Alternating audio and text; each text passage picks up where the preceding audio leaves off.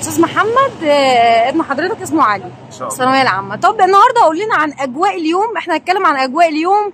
آه، من أول ما جبت ابنك من البيت لحد ما دخلت الامتحان. عم- عملنا إيه النهارده؟ هو من امبارح كمان مش من النهارده كمان. إحنا صاحيين من امبارح ما نمناش.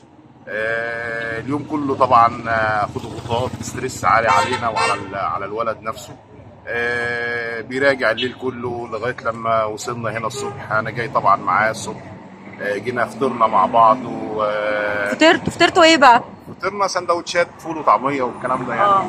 بس فطرنا مع بعض وحسسته كده بال... بال... بال... بشوية أمان كده معاه وشوية دعم ليه ان أنا معاه وقاعد مستنيه لغاية لما يخلص اللجنة إن شاء الله.